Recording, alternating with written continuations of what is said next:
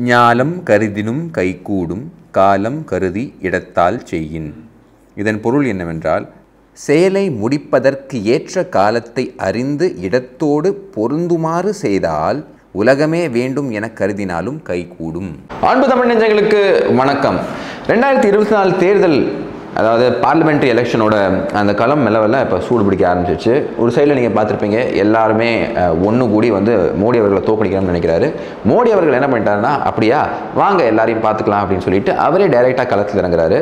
அவர் வந்து twenty twenty four எலெக்ஷன்ஸை ஜெயிக்கணும் இதுதான் அப்படிங்கிற அந்த ஃபோக்கஸில் அவர் இப்போ ஆரம்பிச்சிட்டாரு. எலெக்ஷன் மோடில் அவர் இறங்கிட்டார். அதாவது மத்திய பிரதேஷ் எலெக்ஷன்ஸ் நவம்பர் டிசம்பரில் தான் வருது.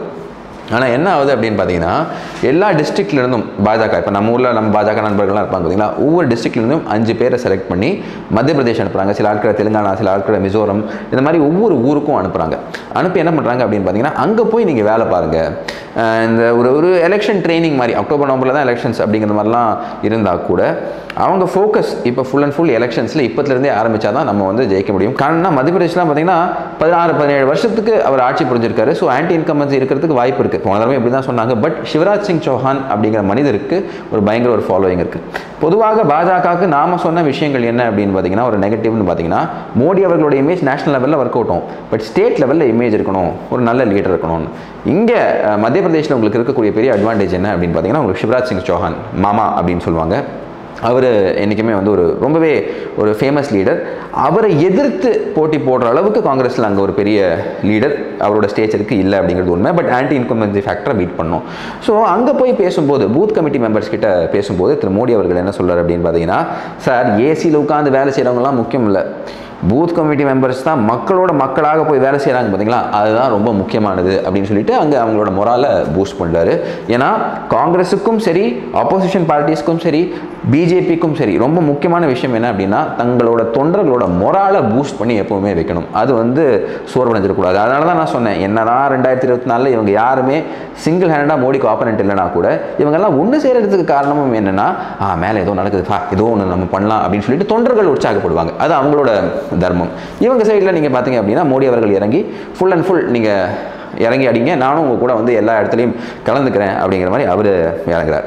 இதுக்கப்புறமா தான் வந்து முக்கியமான விஷயங்கள்லாம் நடக்குது. என்ன அப்படின்னா ட்ரிபிள் தலாக் அப்படிங்கிற அந்த விஷயத்தை எடுத்துகிட்டு வரார் சுப்ரீம் கோர்ட் ஷாபானோ கேஸ் உங்களுக்கு எல்லாருக்கும் தெரியும். ஷாபானோ ஜட்மெண்ட்டாக இருக்கட்டும். ராஜீவ் காந்தி அவர்கள் அதை எப்படி அதை வந்து தள்ளி வச்சுட்டு மைனாரிட்டி ஓட்ஸோட ப்ரெஷர் னால அவர் வந்து ஒரு சுப்ரீம் கோர்ட் ஜட்மெண்ட் இருந்தும் சில விஷயங்களை அவர் ப- அமல்படுத்தாமல் விட்டார். ஆனால் திரு மோடி அவர்கள் வந்ததுக்கப்புறம் இந்த இன்ஸ்டன்ட் தலாக் அப்படிங்கிற விஷயம் ரத்து செய்யப்பட்டிருக்கு. அதை நீங்கள் ப்ராக்டிஸ் தமிழ்நாட்டிலையோ இந்தியாவிலையோ எங்கேயுமே நீங்கள் பண்ண முடியாது. இதில் முக்கியமான விஷயம் என்ன அப்படின்னு பார்த்தீங்கன்னா நிறைய பேர் சொல்லுவாங்க இஸ்லாமியர்களுக்கு அவங்களோட வே ஆஃப் லைஃப் இருக்குது இந்துக்களுக்கு அவங்களோட வே ஆஃப் லைஃப் இருக்குது இஸ்லாமியர்களுக்கு அவங்களோட வே ஆஃப் லைஃப் இருக்குன்னு. நல்லா புரிஞ்சுக்கோங்க இந்த ட்ரிபிள் தலாக் அப்படிங்கிறது இன்ஸ்டன்ட் தலாக் மூணு தடவை தலாக் சொல்லி ஒரு பெண்ணை அந்த வீட்டிலேருந்து வெளியே அனுப்புறது அப்படிங்கிறது எந்த இஸ்லாமிய நாட்டிலையும் ஃபாலோ பண்ண மாட்டாங்க. அதுதான் திரு மோடி அவர்கள் சொல்கிறார் ஏன்னா நான் எஜிப்ட் போயிருக்காரு இப்போ தான் போயிட்டு வந்திருக்காரு. எஜிப்டாக இருக்கட்டும் இந்தோனேஷியாவாக இருக்கட்டும் ஏன் பாகிஸ்தானாக இருக்கட்டும் பங்களாதேஷாக இருக்கட்டும் இவங்க எல்லாமே வந்து ட்ரிபிள் தலாக ஃபாலோ பண்ண மாட்டாங்க. அப்போ வந்து இது வந்து ஒரு என்ன சொல்கிறது ஒரு எசென்ஷியல் ப்ராக்டிஸ் ஆஃப் ரிலீஜன் கிடையாது. அதாவதுங்க என்ன இந்த எசென்ஷியல் ப்ராக்டிஸ் ரொம்பவே எசென்ஷியல் ரிலீஜியஸ் ப்ராக்டிஸ் இஆர்பி அது என்ன அப்படின்னு பார்த்தீங்கன்னா ஒரு மதத்தில் இதை நீங்கள் ஃபாலோ பண்ணலைன்னா அந்த மதத்தை நீங்கள் வந்து உங்களோட ஃபெய்த்தை நீங்கள் ஃபாலோ பண்ண முடியாது. அப்படிங்கிற மாதிரி இருக்கிறது தான் எசென்ஷியல் ப்ராக்டிஸ் உதாரணத்துக்கு இப்போ நீங்கள் ஒரு ஒரு சீக்கியர் இருக்காருன்னு வச்சுக்கோங்களேன். அவருக்கு வந்து அந்த ஃபைவ் கேஸ் இருக்கும். இந்த கேஷு கிருப்பானு கடா இந்த மாதிரி ஃபைவ் கேஸ் அவங்களுக்கு எசென்ஷியல் இதெல்லாம் வந்து அடிப்படை இந்த ரிலீஜனுக்கு அந்த மாதிரி இது ட்ரிபிள் தலாக்கு கிடையாது. ஓட்டுக்காக. வெறும் ஓட்டுக்காக மக்களை நீங்கள் பண்ணியிருக்கீங்க. இந்த மாதிரி இந்த நிலைமையில நீங்கள் வச்சுருக்கீங்க. எத்தனை பெண்கள் அஃபெக்ட் பண்ணப்பட்டிருக்காங்க. எத்தனை ஃபேமிலி இதனால் பாதிக்கப்பட்டிருக்கு. நீங்கள் என்ன பாருங்களேன். இந்த மாதிரி ஒரு ஒரு ஃபேமிலியிலேருந்து இந்த மாதிரி கழட்டி விட்டாங்கன்னு வச்சுக்கோங்களேன். அந்த பெண்மணியோட வாழ்க்கை என்ன ஆகுது? அவங்கள நம்பி இருக்கக்கூடிய குழந்தைகளோட வாழ்க்கை என்ன ஆகுது? அப்போ சொசைட்டியில் இருக்கக்கூடிய பேட் எலிமெண்ட்ஸ் எல்லாம் இந்த குழந்தைகளை டேக் ஓவர் பண்ணுறதுக்கு வாய்ப்புகள் இருக்குல்ல. ஸோ அதனால தான் இந்த ட்ரிபிள் தலாக் பற்றி இவர் பேசுகிறாரு அப்புறமா முக்கியமான subject UCC uniform civil code uniform civil சட்டம். என்னப்பா இந்த யூனிஃபார்ம் சிவில் கோட் இதை பற்றி தனியாக ஒரு வீடியோ போட வேண்டியிருக்கும். பட் சிம்பிளாக சொல்லணும் அப்படின்னு பார்த்தீங்கன்னா நம்ம அரசியலமைப்பு சட்டத்தில் ஆர்டிக்கல் ஃபார்ட்டி ஃபோர் அதாவது சரத்து நாற்பத்தி நாலு என்ன சொல்லுது அப்படின்னா ஒரு யூனிஃபார்ம் சிவில் சட்டத்தை நம்ம கொண்டு வர வேண்டும் அப்படின்னு சொல்லுது. அரசுக்கு வழிகாட்டும் நெறிமுறை கோட்பாடுகள். உடனே எல்லாரும் சொல்லுவாங்க. அதுக்கு ஒரு லீகல் சாங்டிட்டி இல்லையே. இதை பண்ணி தான் ஆகணும்னு கிடையாது. அதனால என்ன சொல்கிறாங்கன்னா அரசுக்கு வழிகாட்டும். இந்த வழியில் நீங்கள் போங்கப்பா அப்படின்னு நம்மளோட கான்ஸ்டியூஷன் ஃபாதர்ஸ் இருக்காங்க பார்த்தீங்கன்னா நம்ம கான்ஸ்டியூஷன் அரசியலமைப்பு சட்டத்தை உருவாக்கினவங்க இதெல்லாம் பண்ணுங்கப்பா. ஒரு யூனிஃபார்ம் சிவில் கோட் கொண்டு வரதுக்கு முயற்சி பண்ணுங்கப்பா அப்படின்னு சொல்லியிருந்தாங்க. ஆயிரத்தி தொள்ளாயிரத்தி ஐம்பதுகளில் ஆயிரத்தி தொள்ளாயிரத்தி ஐம்பதுகளில் இந்த ஹிந்து மேரேஜ் ஆக்ட்டு இந்த ஹிந்து ப்ராப்பர்ட்டி அப்புறமா சக்ஸஷன் இன்ஹெரிட்டன்ஸ் இந்த ஆக்ட்ஸ் எல்லாம் வந்து இந்த ஆயிரத்தி தொள்ளாயிரத்தி ஐம்பதுகளில் டெலிபரேட் பண்ணி சட்டமாக வருது. அப்போ அந்த பீரியட் இருக்குது பார்த்தீங்களா இண்டிபெண்டன்ஸ் கிடச்ச உடனே ஹிந்துக்களுக்கு என்னெல்லாம் அவங்களோட ப்ராப்பர்ட்டி எப்படி இன்ஹெரிட் பண்ணுறது அவங்களோட வே- அவங்களோட மேரேஜ் எப்படி நடத்தப்பட வேண்டும் அப்படிங்கிற விஷயங்கள்லாம் இருக்குது பார்த்தீங்களா அதெல்லாம் சட்டமாக கொண்டு வரப்படுது. ஸோ ஒரு பீரியட் ஆஃப் ரிஃபார்ம்ஸ் நம்ம சொல்லலாம் ஹிந்துக்களுக்கு. ஆனால் இஸ்லாமியர்களுக்கு அது பண்ணவே விடவில்லை. அதுதான் இங்கே இருக்கக்கூடிய பெரிய பிரச்சனை. ஸோ அவங்களுக்கு தனி லாஸ் அவங்களுக்கு தனி சிவில் லாஸ் அப்படின்னு இருக்கிறதுனால இது ஒரு பெரிய பிரச்சனையாக இருக்குது பெண்கள் இதனால் பாதிக்கப்படுறாங்க. பெண்களோட ரைட்ஸ் இதனால் பாதிக்கப்படுது. நிறைய பேர் இதனால் அஃபெக்ட் பண்ணப்படுறாங்க. அப்படிங்கிறது தான் திரு மோடி அவர்கள் இங்கே சொல்ல முயற்சி பண்ணுறார் ஸோ மேரேஜ் விவாகரத்து சொத்துரிமை. இது எல்லாருக்குமே வந்து இந்தியாவில் இருக்கக்கூடிய எல்லாருக்கும் காமனாக இருக்க வேண்டும். அது எப்படி சார் இருக்க முடியும்னு நீங்கள் கேட்கலாம். கிரிமினல்லாம் எல்லாருக்கும் காமனாக இருக்குது அதாவதுங்க ஒருத்தர் வந்து கொலை பண்ணிட்டாருன்னு வச்சுக்கோங்களேன். இல்லை ஒருத்தர் திருடிட்டாருன்னு வச்சுக்கோங்க. ஒரு திருடிட்டாருன்னா அப்போ ஷரியத் சட்டம் படி அவங்களுக்கு கொடுக்குறோம் கையை வெட்டுறோமா? இல்லை இல்லை. அவர் இஸ்லாமியராக இருந்தாலும் சரி கிறிஸ்தவராக இருந்தாலும் சரி சீக்கியராக இருந்தாலும் சரி இந்துவாக இருந்தாலும் சரி யாராக இருந்தாலும் சரி ஒரு யூனிஃபார்ம் கிரிமினல் லா இருக்குல்ல அந்த மாதிரி ஒரு யூனிஃபார்ம் சிவில் லா கொண்டு வரதுக்கு நம்ம முயற்சி. இதுக்கு பயங்கரமான ஆப்போசிஷன் இருக்கும். மாற்று கருத்தே இல்லை. ஆனால் இப்போ வந்து கவர்மெண்ட் சைட்லேருந்து அவங்க என்ன பண்ணுறாங்கன்னா உங்கள் ஒப்பீனியன்ஸை கொடுங்க அப்படின்னு வாங்குறாங்க. திரு மோடி அவர்கள் ஸ்டேஜில் பேசும்போது அவர் சிம்பிளாக என்ன சொல்கிறாருன்னா நீங்கள் எல்லாரும் இதற்கு ஆதரவு தெரிவிக்க வேண்டும் அப்படிங்கிறத சொல்லியிருந்தாரு. எப்படி ஆர்டிகல் த்ரீ செவன்ட்டியை அகற்றுறது abrogation of article three seventy இவங்களோட ஒரு மேஜர் ஏமாக இருந்துச்சோ எலெக்ஷன் மேனிஃபெஸ்டோவில் ப்ராமிஸாக இருந்ததோ யூனிஃபார்ம் சிவில் கோடும் ரொம்பவே முக்கியமான ப்ராமிஸ் ராம் மந்திர் ரொம்பவே முக்கியமான ப்ராமிஸ் ஸோ அவங்களோட மெயின் அஜெண்டா எல்லாத்தையும் ரெண்டாயிரத்தி இருபத்தி நாலுக்குள்ளே அவங்க பண்ணி முடிப்பாங்க அப்படிங்கிறது இதில் நமக்கு தெரிய வருது. அடுத்தது ஊழலை பற்றி பேசுகிறார் இமோட்டிவ் இஷ்யூ ஒன்று அதுக்கப்புறமா கவர்னன்ஸ் ரிலேட்டட் இஷ்யூஸ் இது ரெண்டுமே முக்கியம். அதாவதுங்க அரசியல் என்னென்னா ஒன்று வந்து எது மக்களுக்கு உணர்ச்சி தூண்டுதோ அந்த விஷயங்களும் பேச வேண்டும். At the same time governance governance வந்து நிறைய மக்களுக்கு அது அஃபெக்ட் ஆகாது. பார்த்தீங்கன்னா கரப்ஷன் ஒரு இஷ்யூவாக அவங்க நிறைய பேர் எடுத்துக்க மாட்டாங்க. பட் கரப்ஷனும் பேசி ஆக வேண்டும். மெல்ல மெல்ல மெல்ல அது அவங்களுக்கு புரிய ஆரம்பிக்கும். இமீடியட் எஃபெக்ட் அது அவங்களுக்கு இருக்காது. ஸோ ராம் மந்திர் யூசிசி இதெல்லாம் மக்களுக்கு ஆமாப்பா அப்படின்னு கனெக்ட் ஆகுது கவர்னன்ஸ் இஷ்யூவில் கனெக்ட் ஆகுமா இல்லையா அப்படின்னு நீங்கள் கேட்டிங்கன்னா கொஞ்சம் இதை விட கம்மி தான். பட் அதுவும் முக்கியம் அப்படிங்கிறனால திரு மோடி அவர்கள் என்ன பண்ணுறாரு அப்படின்னு பார்த்தீங்கன்னா ஊழலை பற்றி பேசுகிறாரு யாருமே இங்கேருந்து எஸ்கேப் ஆயிட முடியாது.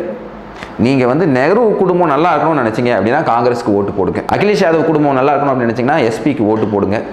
அதே மாதிரி லல்லு பிரசாத் குடும்பம் நல்லா இருக்கணும்னு நினச்சிங்கன்னா ஆர்ஜேடிக்கு ஓட்டு போடுங்க. ஸ்டாலின் குடும்பம் நல்லா இருக்கணும் அப்படின்னு பார்த்தீங்கன்னா திமுகவுக்கு ஓட்டு போடுங்க அப்படின்னு ஒரு பெரிய ஒரு லிஸ்ட்டை கொடுக்குறாரு.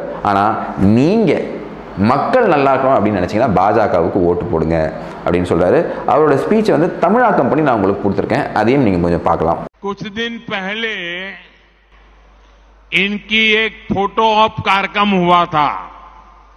मिलकर के फ़ोटो निकालने का एक कार्यक्रम हुआ था।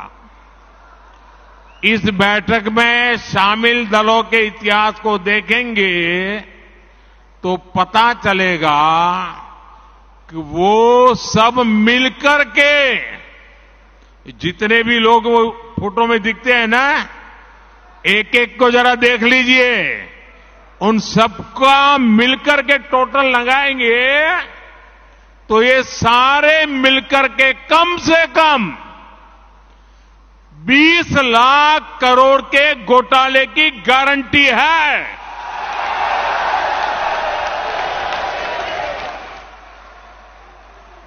और कांग्रेस का घोटाला ही अकेले लाखों करोड़ों का है।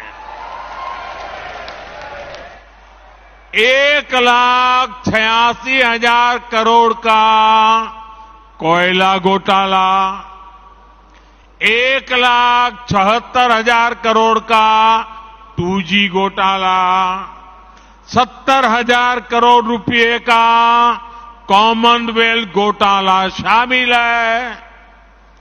दस हज़ार करोड़ रुपए का मनरेगा घोटाला हेलीकॉप्टर से लेकर सबमरीन तक कांग्रेस के घोटाले से कोई ऐसा क्षेत्र नहीं है जो कांग्रेस के घोटाले की हाथ का शिकार न हुआ हो। अब दूसरा देखिए, आरजेडी हज़ारों करोड़ के घोटाले का आरोप है। चारा घोटाला, अलकतरा घोटाला, पशुपालन शेड घोटाला, बाढ़ राहत घोटाला, आरजेडी के घोटालों की इतनी लंबी सूची है, अदालतें भी थक गई। एक के बाद एक सजा घोषित करती चली जा रही है। उधर तमिलनाडु में देखिए डीएमके पर अवैध तरीके से सवा लाख करोड़ की संपत्ति बनाने का आरोप। टीएमसी पर भी तेईस हज़ार करोड़ रुपए से ज़्यादा के घोटाले का आरोप। रोजवेली घोटाला, शारदा घोटाला, शिक्षक भर्ती घोटाला, गो तस्करी घोटाला और कोयला तस्करी घोटाला। बंगाल के लोग ये घोटाला कभी भूल नहीं सकते। अगर मैं एनसीपी की बात करूँ तो एनसीपी पर भी करीब करीब सत्तर हज़ार करोड़ रुपए के घोटालों का आरोप है। महाराष्ट्र स्टेट कोऑपरेटिव बैंक घोटाला, महाराष्ट्र सिंचाई घोटाला, अवैध खनन घोटाला, इनकी लिस्ट भी बहुत लंबी है। इन पार्टियों के घोटालों का मीटर कभी डाउन ही नहीं होता। मैं तो कहूँगा कि बीजेपी के किसी कार्यकर्ता को कोशिश करनी चाहिए कि इन पार्टियों का घोटाला मीटर बनाने की। एक बढ़िया, आप में से जो इनोवेटिव हो ना, बढ़िया इनके घोटालों का मीटर बढ़ा दीजिए। ஸோ ஆக மொத்தம் இங்கே ஃபோட்டோ ஷூட் தான் நடக்குது அப்படிங்கிறதையும் திரு மோடி அவர்கள் சொல்கிறார் ஃபோட்டோ ஷூட்னு சொல்லும்போது நம்ம முதல்வர் ஞாபகம் உங்களுக்கு வரலாம். இங்கேருந்து சிங்கப்பூர் போய் என்னப்பா கொண்டு வந்தீங்க? நாங்கள் வந்து பதினஞ்சு தடவை பத்து தடவை கோட்டு மாற்றணும் அப்படின்னு திரு அண்ணாமலை அவர்கள் வேடிக்கையாக அவரை கிண்டல் பண்ணார் பார்த்தீங்கன்னா அந்த விஷயம் தான் ஞாபகம் வருது. என்னையாக கொண்டு வந்தீங்கன்னா வெறும் ஃபோட்டோ ஷூட் தான். எல்லாத்துக்குமே ஃபோட்டோ ஷூட் தான். கடைசி வரைக்கும் இந்த ஃபோட்டோ ஷூட் அரசாங்கம் இவங்களால ஒன்றுமே பண்ண முடியாது. அதாவதுங்க இவங்க எல்லாருமே இந்த ஃபோட்டோ ஷூட்டை நின்னவங்க. எல்லா முக்கியமான அரசியல் தலைவர்களும் சேர்த்து இவங்க பண்ண ஊழல் நீங்கள் பார்த்தீங்கன்னா இருபது லட்சம் கோடி தேரும் அப்படிங்கிறாரு. அதை பட்டியலிடுறாரு. சும்மா அப்படியே போகிற போக்கில் ஏதோ அடிச்சு விட்டு போல. ஒன்று புள்ளி எட்டு ஆறு லட்சம் கோடி இந்த கோல்கேட் ஊழல். அதுக்கப்புறமா இந்த காமன்வெல்த் கேம்ஸில் பார்த்தீங்க அப்படின்னா seventy thousand crores two G ஊழலில் பார்த்தீங்கன்னா one point seven six lakh crores ஊழல். ஆர்ஜேடி அவங்க பண்ண ஊழல் என்ன அப்படின்னு பார்த்தீங்கன்னா பத்தாயிரம் கோடி அப்படின்னு பெரிய விவரிக்கிறாரு அங்கேயும் தமிழ்நாட்டோட திமுகவை சொல்கிறார் தமிழ்நாட்டில் இருக்கக்கூடிய திமுக என்ன பண்ணுது அப்படின்னு பார்த்தீங்கன்னா பல லட்சம் கோடி ஊழல் பண்ணிக்கிறதாக சொல்கிறாங்க ஸோ இது ஏன் முக்கியம்னு பார்த்தீங்கன்னா ஒன்று திமுகவை தாக்குறது திரு மோடி அவர்கள் திமுகவை இங்கே அரசியலிருந்து அகற்றணும் அப்படிங்கிறதுல உறுதியாக இருக்கார் அதில் மாற்று இல்லை. ரெண்டாவது இந்த டிஎம்கே ஃபைல்ஸ் முன்னெடுத்தது திரு அண்ணாமலை அவர்கள். ஸோ அந்த பேசிஸை நேஷனல் லெவலில் கொண்டு போய் சேர்க்கிறாரு திரு மோடி அவர்கள். அவரோட மாநில தலைவர் பண்ணக்கூடிய எஃபர்ட்ஸ் இருக்குது பார்த்தீங்களா? அதை வந்து அவர் ஒரு ஒரு ஃபீடாக எடுத்துக்கிட்டு எல்லா இடத்துலையும் கொண்டு போய் பரப்புறாரு அப்படிங்கிறது குறிப்பிடத்தக்க ஒரு விஷயம். அடுத்தது இந்த டிஎம்சியை பற்றி பேசுகிற அவங்களும் ரோஸ் வேலி ஸ்கேம் சாரதா ஸ்கேம் இதெல்லாம் இன்வால்வாக இருக்காங்க. ஸோ இவங்க எல்லாருக்கும் நீங்கள் ஓட்டு போட்டிங்க அப்படின்னா நாடு தரிசாக போயிடும். ஆகையினால நீங்கள் எல்லாரும் பிஜேபிக்கு ஓட் போடுங்க. ஓட் ஃபார் பிஜேபி அப்படின்னு அவர் சொல்லியிருக்கார். அப்படியே அங்கேருந்து தமிழ்நாட்டுக்கு வரும். தமிழ்நாட்டில் என்ன நடக்குது? நம்ம கே நேரு அவர்கள் என் பழனியாண்டி மத்தியில் ஒரு இஷ்யூ நடக்குது. பழனியாண்டி அவர்கள் யாருன்னு நீங்கள் புரிஞ்சுக்கணும். இந்த திருச்சி சிவா வீட்டில் தாக்கல் நடக்கும்போது அங்கே ஒரு எம்எல்ஏ இருக்காங்கன்னு சொன்னாங்க பார்த்தீங்கன்னா அதுதான் இந்த பழனியாண்டி அவர்கள்.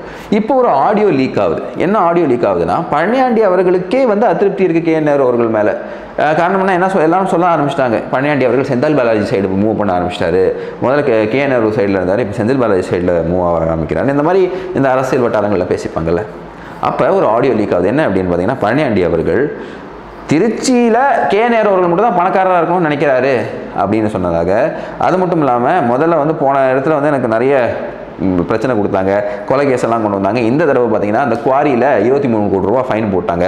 அதனால் நான் ரொம்ப பாதிக்கப்பட்டிருக்கேன். என்னை ஒழுங்காகவே செயல்பட விட மாட்டேங்கிறேன் அப்படின்னு அவர் ரொம்ப ஃபீலிங்காக பேசும்போது கே அவர்கள் என்ன சொல்கிறாருன்னா அதெல்லாம் கிடையவே கிடையாது. எங்கள் கட்சி எம்எல்ஏ வளரணும்னு தான் நான் நினைப்பேன். அவர் சொன்னது ஏதாவது ஒன்று ப்ரூவ் பண்ண சொல்லுங்கள் அவர் என்ன சொன்னாலும் நான் கேட்குறேன் அப்படின்னு கே நேரு அவர்கள் சொல்கிறார் புரியுதுங்களா? ஸோ இதெல்லாம் போயிட்டு இருக்கும்போது விஷயங்கள் வந்து திரு ஸ்டாலின் அவர்களுக்கு போய் சேர்ந்ததாகவும் அவர் வந்து கூப்பிட்டு விசாரித்து பன்னெண்டு எம்எல்ஏ கிட்ட என்னப்பா நடக்குது அப்படின்னு கேட்குறதுக்கு அங்கே மாவட்ட ரீதியாக அந்த மாவட்ட இடத்துல நீங்கள் போய் பாருங்கள் அப்படின்னு சொன்னதாக தகவல்கள் வருது.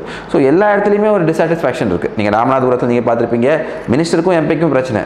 திருச்சியில் ஏற்கனவே உங்களுக்கு தெரியும் அன்பில் குரூப் ஒன்று இனிகோ ஈரதராஜ் அவர்கள் குரூப் ஒன்று அதுக்கப்புறம் நம்ம கே நேரு அவர்கள் குரூப் ஒன்று இப்போ பழனியாண்டி பிரச்சனையும் வந்திருக்கு. ஏற்கனவே திருச்சி சிவா குரூப்பு மதுரையில் பிரச்சனை உங்களுக்கு என்னன்னு தெரியும். பிடிஆர் அவர்கள் ஒரு தரப்பு இருந்தாலும் கோத்தளபதி தலைமையில் இன்னொரு பிரச்சனை. எல்லாருக்கும் செந்தில் பாலாஜி அவர்கள் மேலே ஒரு அதிருப்தி. பட் இருந்தாலும் இந்த நேரத்தில் செந்தில் பாலாஜி ஆதரிச்சு ஆகணும். ஸோ இந்த விஷயங்கள்லாம் நடந்துக்கிட்டே இருக்குது ஏங்க அங்க போய் வாழக்கூடாதுன்னா எனக்கு இந்த ராஜவேலிங்கனை வச்சு பெட்டிஷன் போட்டு ராஜவேல் வாங்க அந்த பெட்டிஷன் போட்டு கே கே சார் ராமச்சந்திரன் வருவாய்த்துறை அமைச்சர். ஆமா. அவர் தான் ஆர்டிஓட்ட சொல்லி ஃபைன் அதிகமாக போட சொல்லி போட்டான். ஒரு எம்எல்ஏ பழனியாண்டி வரைக்கும் கே நேர்னு எழுதுங்க. எங்க அண்ணன் இருந்தா. எப்படி எப்படி? எம்எல்ஏ? ஓ எம்எல்ஏ பழனியாண்டி அலிக்கும் கே என் நேரு. எழுதுங்க. சரி, ஏங்க? ஸ்டேட்மெண்ட் கேளுங்க? நான் சொல்றேன். ஆமாங்க நான் நான் கேக்குறேன். போன ஆட்சியில தான் உங்களை கொலைக்கேஸ்ல குடும்பத்தோட கொண்டு உட்கார வச்சாங்க. திமுக ஆட்சி இருக்கும்போது. சொல்லு போனாவது கொலை கேஸ்ல விட்டா இந்த வாட்டி கோரி கேஸ்ல விட்டுருக்காரு நேரு. அப்படின்னு எழுதுங்க. குவாரி கேஸ் கேள்வி கேட்க மாதிரி எழுதுங்க. இது வந்து எல்லாம் சரிதான்னு நான் சொல்றேன்.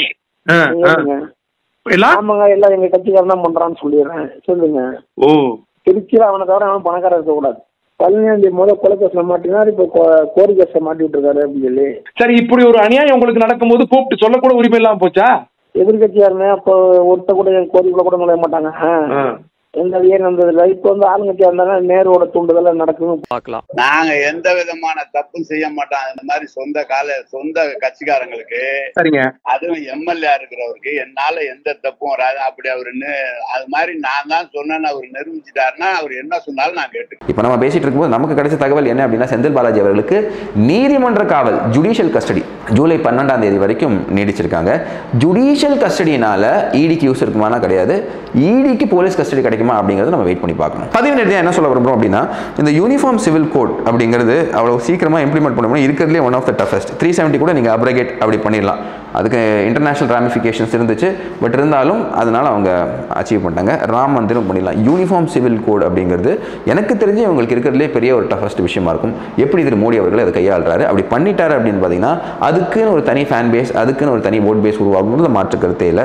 அது பண்ணுறாரா இல்லையா? அப்படிங்கிறது காலம் பதில் சொல்லும். வெகு விரைவில் தகவல்கள் அதற்குண்டான விஷயங்களும் நான் உங்களுக்கு அப்டேட் பண்ணுறேன் இணைந்ததுக்கு நன்றி. வணக்கம் வந்தே மாத்திரம் பாரத் மாதா கி ஜெய். வாழ்க நம் பாரதம். ஜெயஹிந்த் எத்தனை காலந்தான் ஏமாற்றுவார் இந்த நாட்டிலே.